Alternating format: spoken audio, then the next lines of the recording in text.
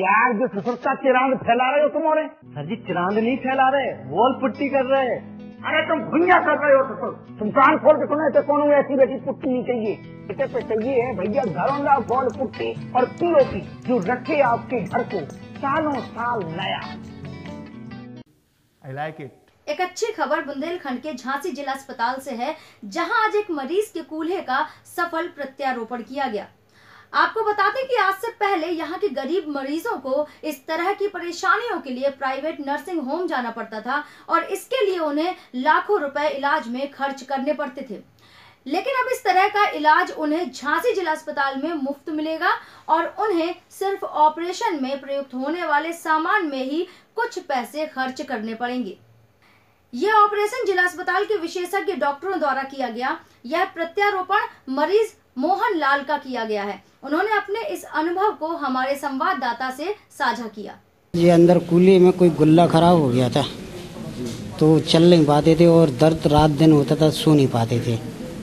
तो इनका दिन बार मालूम हुआ तो हम आए तो हमने दिखाया। तो इन्होंने कहा, पहले एक्सरा करवाइए, एक्सरा करवाया। एक्सरा देख के बोले, भाई, आपका ऑपरेशन होगा।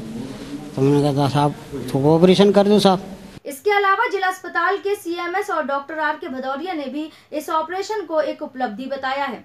को एक जोड़ खराब हो गया था, सीधा तरफ़ का हिप जॉइंट खराब हो गया था, जिसको बोलते हैं avascular necrosis of femoral head ये बीमारी उसको थी, जिसके लिए उसको टोटल हिप रिप्लेसमेंट की आवश्यकता थी और वो ऑपरेशन झांसी में अपने अस्पताल में किया गया और वो सफल रहा। पिछले उसको मंगलवार को ये किया गया था और आज सात दिन हो चुके हैं पूरे। मरीज़ पूरी तरह स्वस्थ है। जो जिसको कि टोटल हिप रिप्लेसमेंट कहते हैं, जिसमें कि पूरा कूल्हे की हड्डी पूरी बदली जाती है, वो इस चिकित्सालय में किया गया है। जैसा कि हमें ज्ञात है या पता चला है कि सरकारी क्षेत्र में कम से कम जिला चिकित्सालयों में टोटल हिप रिप्लेसमेंट की कहीं से कोई ऐसी नहीं सुनाई पड़ी कि वहाँ पे किया गया हो। कम से कम बुंदेलखंड में तो हम लोग अग्रणी हैं ही। इस, और जैसा हमें अभी बताया गया है तो इस तरह का पहला ऑपरेशन है। हम चाहेंगे अगर इस तरह के इम्प्लांट वगैरह सरकार द्वारा उपलब्ध होने की संभावना है, यदि होते हैं तो भविष्य में और भी इस तरह की व्यवस्थाएँ हम लोग कर सकेंगे। झांसी से बीके न्यूज़ के लिए मनीष अली की रिपोर्ट।